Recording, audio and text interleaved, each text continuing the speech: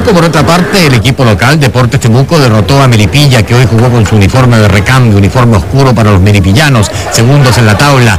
Muy buen gol de Cáceres en la apertura del marcador, Carlos Cáceres, cuando el reloj señalaba 25 minutos de la segunda etapa. Solamente en el tiempo final pudo Deportes Temuco resolver este pleito en su favor y un ex colocolino, Juan Carlos Alegría, va a anotar el gol que asegura el triunfo del equipo albiverde de Temuco, 2 a 0. Ganaron los representantes de la novena región en el campeonato de Primera B a Deportes Melipilla.